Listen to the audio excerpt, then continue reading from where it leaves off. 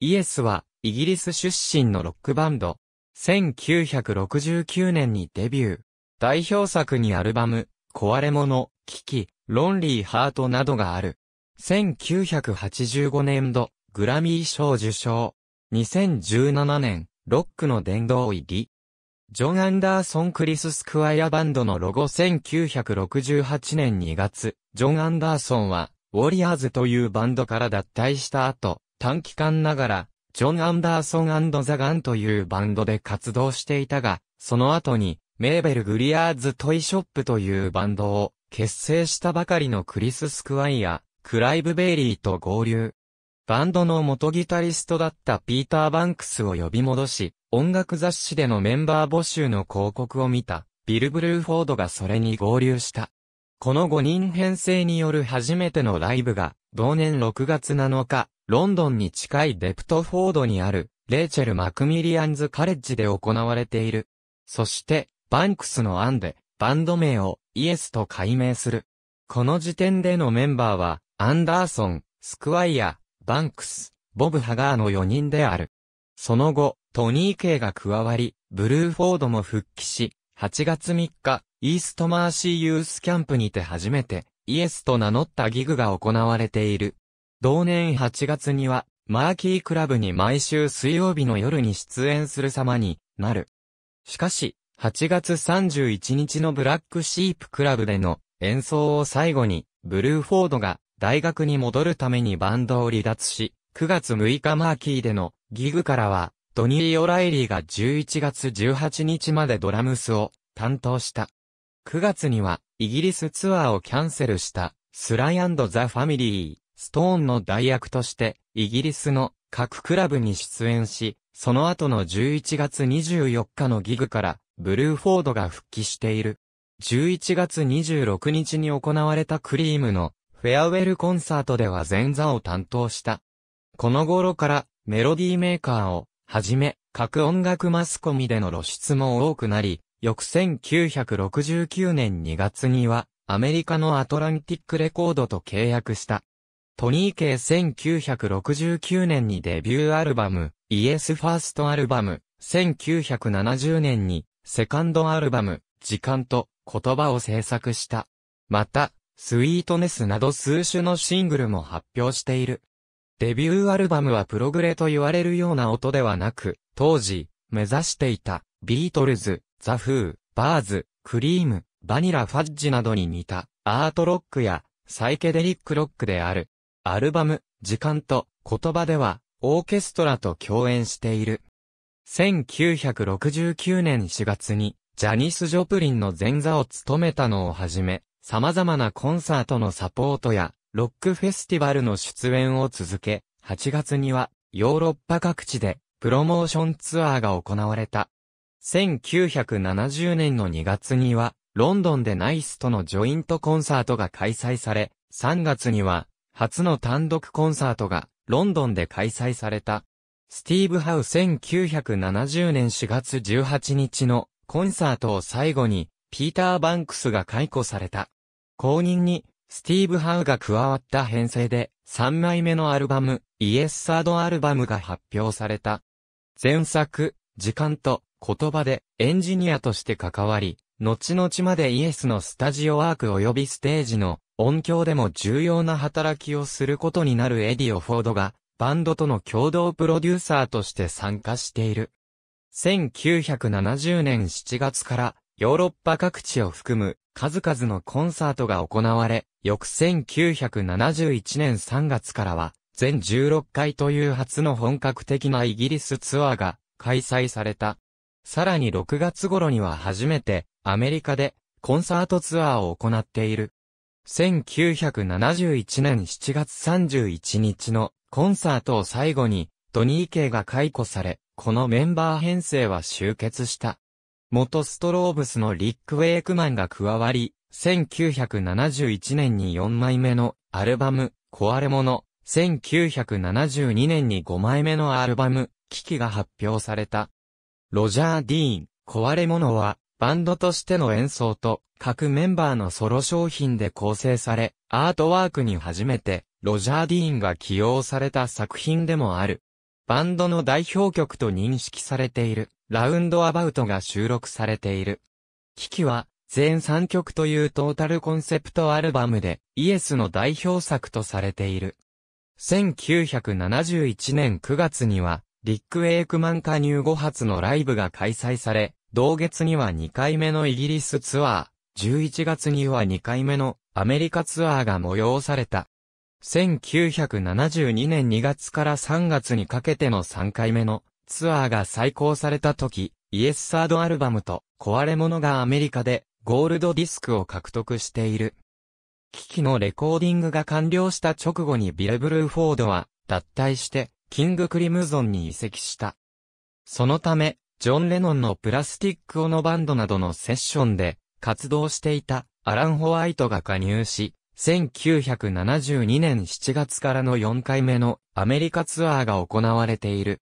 翌1973年にリリースされた3枚組ライブ版イエスソングスではドラムスのほとんどをアラン・ホワイトが担当したテイクで構成されており、遥かなる思いでザ・フィッシュやドラムソロを含むパーペチュアルチェンジはビル・ブルーフォードのドラムスによる演奏が使用されている。US コロンビア公演1973年にアルバム海洋地形学の物語が発表された。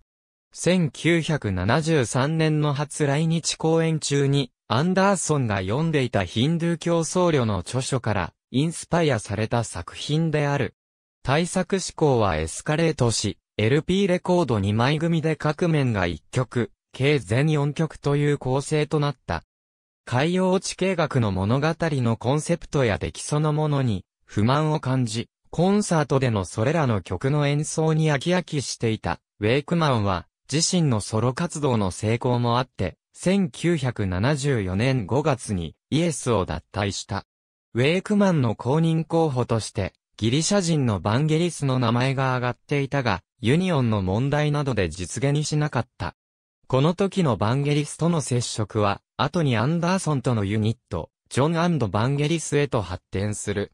また、ロッド・アージェントにも、後任への打診があったことが、アージェント本人によって語られている。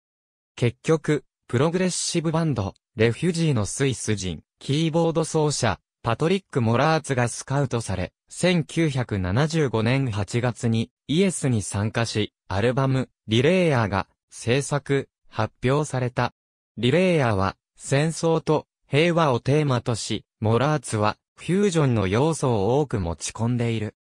この時期、1976年まで続く精力的なツアーを行い、メンバー全員がソロアルバムを発表し、コンピレーション、イエスタデイズの発表も行っている。US インディアナポリス公演1976年、アルバム制作のリハーサルがスイスで始められただが、音楽性の相違や諸々の問題が表面化して、モラーツが脱退し、ウェイクマンがセッションマンとして招かれた。このセッションでの感触から、ウェイクマンは結局正式メンバーとして復帰し、レコーディングもそのままスイスで遂行された。そして、1977年7月にアルバム究極が発表されている。ジャケットアートを幻想絵画のロジャー・ディーンから、シュールなフォトコラージュのヒプノシスへ切り替え、プロデュースをエディ・オフォードから離れて、セルフプロデュースで行われた。教会のパイプオルガンのウェイクマンと、スタジオのメンバーたちと、電話回線で同期して、レコーディングをするという試みも行われた。不思議なお話をは、シングルカットされ、トップ10ヒットとなっている。ジョン・アンダーソン1978年にアルバム、トーマトを発表。楽曲のコンパクト化をより推し進め、歌詞のテーマも身近で手軽なものを多く取り上げた作品となった。1978年はイエス結成10周年でもあり、回転する円形ステージのライブもこの頃に開始されている。トーマト発表後の結成10周年、記念ツアー終了後の1979年にパリで始めた新作のリハーサルが頓挫し、アンダーソンとウェイクマンが脱退してしまう。ボーカルとキーボードを失ったイエスは、同じマネージメントに所属していたエレクトロポップデュオ、バグルスを丸ごと吸収した。この編成で1980年にアルバム、ドラマが発表され、アメリカとヨーロッパでツアーを行うものの、評価も、観客動員も良い結果を残せなかったこともあり、ツアーを終えたイエスは、活動を停止した。クリス・スクワイア1980年から1983年にかけてイエスとしての具体的な活動はなかった。便宜上は解散という言葉を使っているが、ホワイトはそれを否定しており、メンバーが集まらなかったので活動を停止していただけと主張している。ハウによると、スクワイアとホワイトの二人は、ジミー・ページとセッションを始め、ホーンはそのバンドをプロデュースしたいと言って二人に同行し、最終的にイエスに残ったのは、彼とダウンズだけだったのだという。ハウは、イエスの再編も考えたが、当時のマネージャー、ブライアン・レーンの助言もあって、イエスを諦め、新バンド、エイジア結成へシフトしたとされる。スクワイア、ホワイトの見方は、これとは全く逆で、ハウは自分たちを置いて、エイジアに行ってしまった、という意味合いの発言をしている。なお、アンダーソン脱退時のバグルス吸収、エイジアの結成、トレバー・ラビンの紹介など、この時期のイエスの動向を大きく左右したのは、ブライアン・レーンであった。ホーンは、バグルスの2作目、モダンレコーディングの冒険に着手した。この作品にはスクワイアが、サウンドエフェクトなるクレジットで一曲にゲスト参加している。またアルバム、ドラマに提供したレンズの中へをバグルス版にリアレンジしたアイアムアカメラも収録されている。以降、ホーンはプロデューサー業に専念し、音楽プロデューサーとして成功を収めている。スクワイアとホワイトは、二人の名義でクリスマスソングのシングル版、ランウィズ・ザ・フォックスを発表している。スクワイアがリードボーカルを担当している同曲は、ピート・シンフィールドとの共作である。新プロジェクトを、いち早く商業的に成功させていたのは、ハウとダウンズのエイジアである。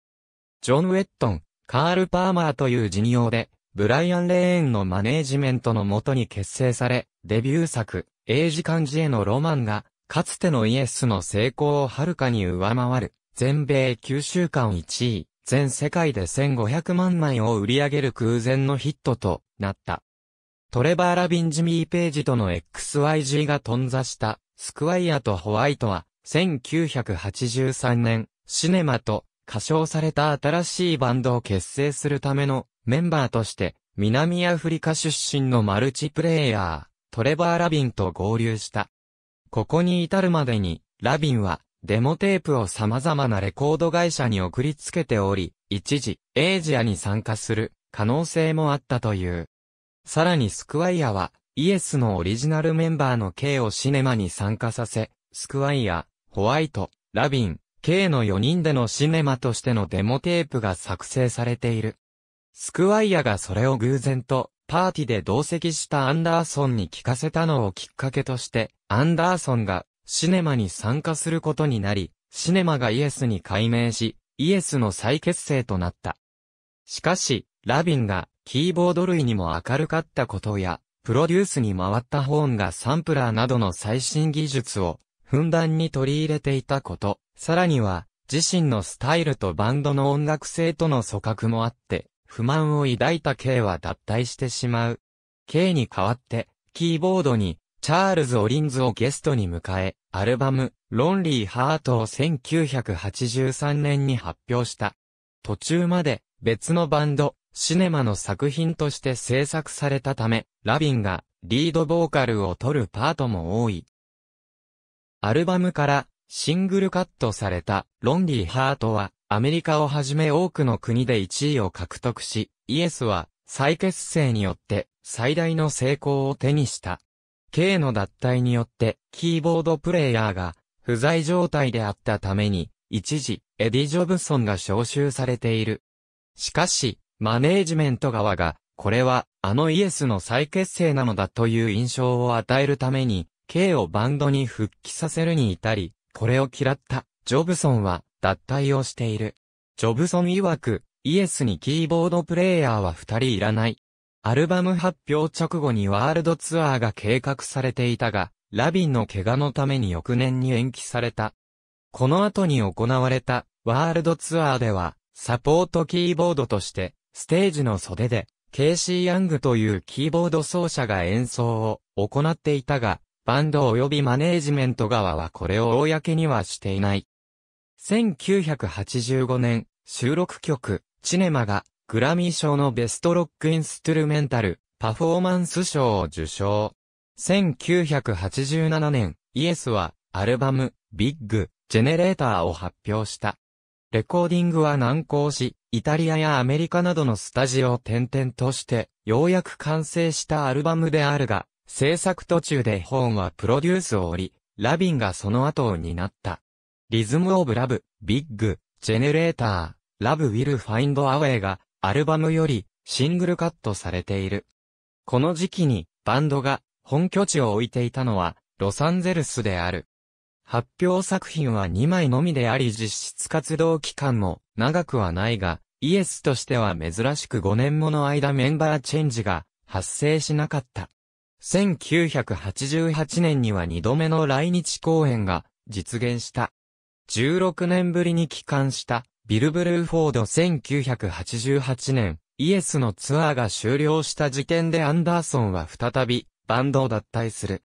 そして彼はイエスの旧メンバーである、ハウ、ブルーフォード、ウェイクマンと共に、アンダーソン・ブルーフォード・ウェイクマン・ハウを結成するに至る。アンダーソンがこうした活動に出た裏には、ラビンが主導するバンドに不満を抱いていたということがあるとされる。アンダーソンの新しい活動は、イエスという名称をめぐり、この後に訴訟沙汰にまでなっている。ベーシストには、ブルーフォードがキングクリムゾン在籍時に縁のあったトニー・レビンを連れてきて、スタジオ録音に全面参加している。その他には、マット・クリフォード、ミルトン・マクドナルトといったサポートメンバーが参加し、加えて、アンダーソンは、バンゲリスト、ハウは、ジェフ・ダウンズ、マックス・ベーコンと共作したマテリアルを持ち寄り新曲として仕上げている。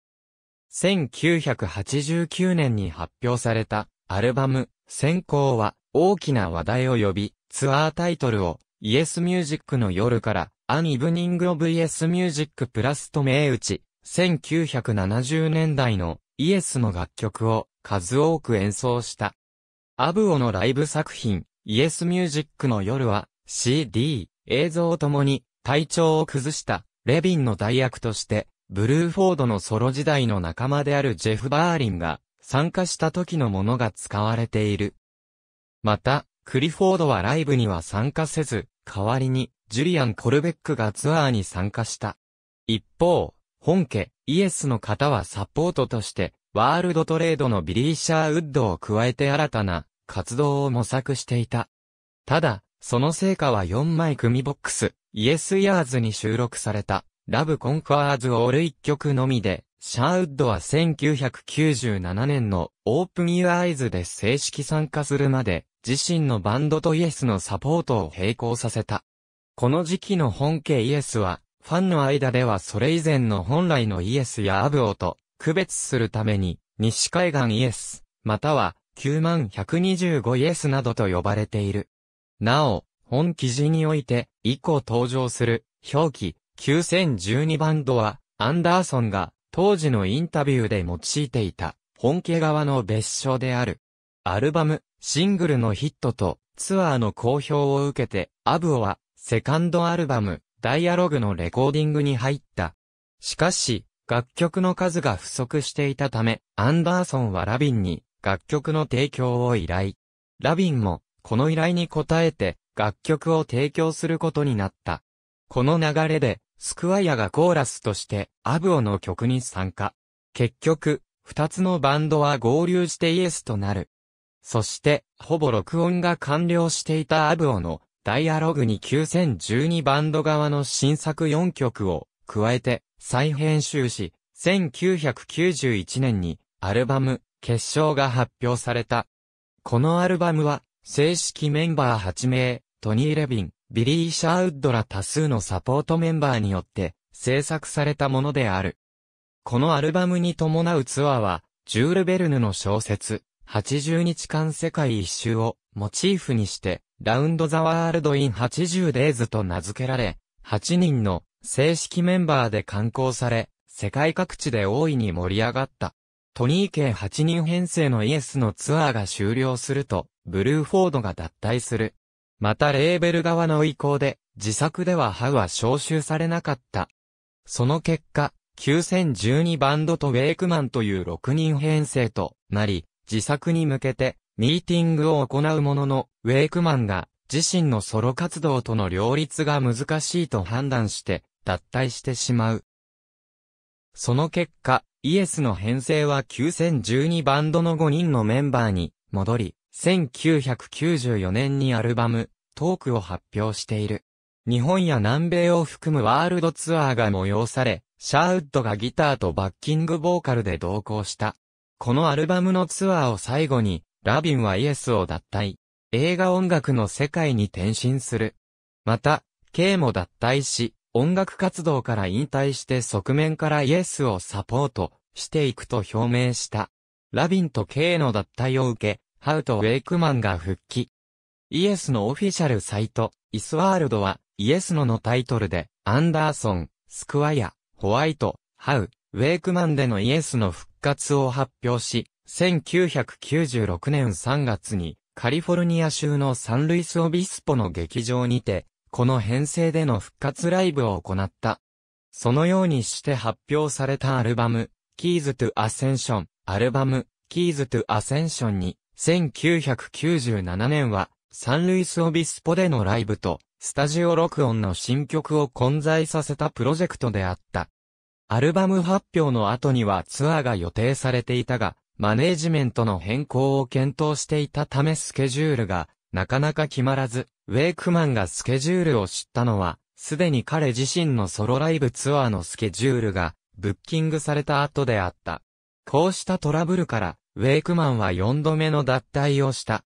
1997年5月には、ウェイクマン脱退が正式に発表され、予定されていたツアーはキャンセルとなった。カナダ、モントリオール公演公認のキーボードプレイヤーを探していたイエスは、アンダーソンが連れてきたロシア出身のイゴール・コロシェフをツアー用のメンバーとして加入させる。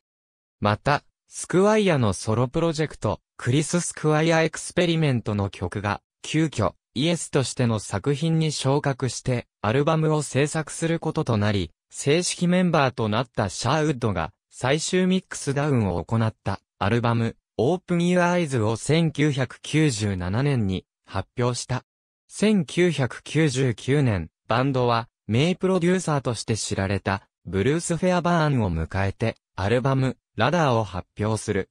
このアルバムでは、コロシェフは、正式メンバーに昇格している。その後シャーウッドが、自分の活動に専念するため、コロシェフが、満期終了した契約の公開をせず脱退。2001年、以前から温めていた企画であるオーケストラとの共演作品となるアルバム、マグニフィケーションを発表する。さらには欧米で、オーケストラとの共演のツアーを実現した。コンサートではキーボードにトム・ブリスリンが参加している。リック・ウェイクマンマグニフィケーションツアーを終えたイエスは、ウェイクマンの復帰を発表した。その後、イエスは2002年のクラシックツアー、2003年のフルサークルツアー、2004年の35周年記念ツアーと大規模なツアーを行ったものの、スタジオレコーディングの新作を出していない。カナダトロント公演2004年11月11日、ロンドンのウェンブリーアリーナで開催されたホーンの25周年記念ライブに、ドラマ、ロンリーハートの混成メンバーにて、イエスとして参加した。ホーン自身は、バグルスのボーカル、ベースとして、ダウンズ、ホワイトと共演している。ジョン・アンダーソン2005年、今年はツアーをやりたくないというアンダーソンの意向を受けて、イエスはグループとしての活動を停止し、メンバーはソロ活動に入った。また、ウェイクマンが公式に次のイエスの活動には参加しないことを表明した。2008年、アンダーソン、ハウ、スクワイア、ホワイト、オリバー・ウェイクマンというラインナップで、バンド結成40周年を踏まえた世界ツアーを行うことが公式サイトにて発表された。だが、アンダーソンの病気により、キャンセルとなった。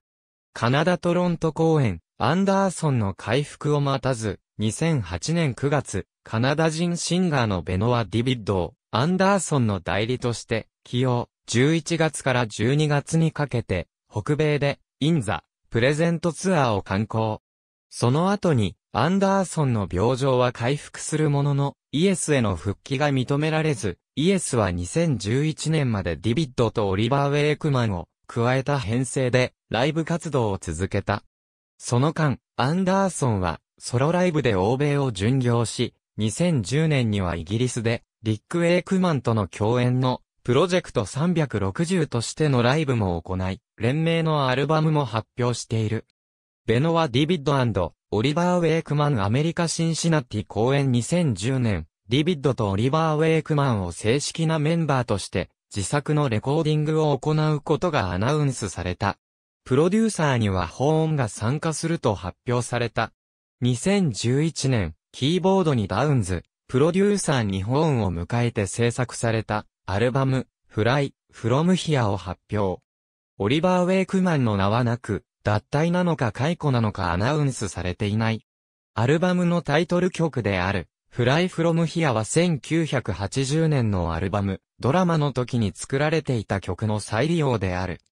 同年7月から8月、スティクスを前座として、北米ツアーを、11月から12月には単独で、ヨーロッパツアーを行い、そのツアーでのライブ録音版、In the Present Live from Lyon, In the プレゼントライブフロムリオンが発表された。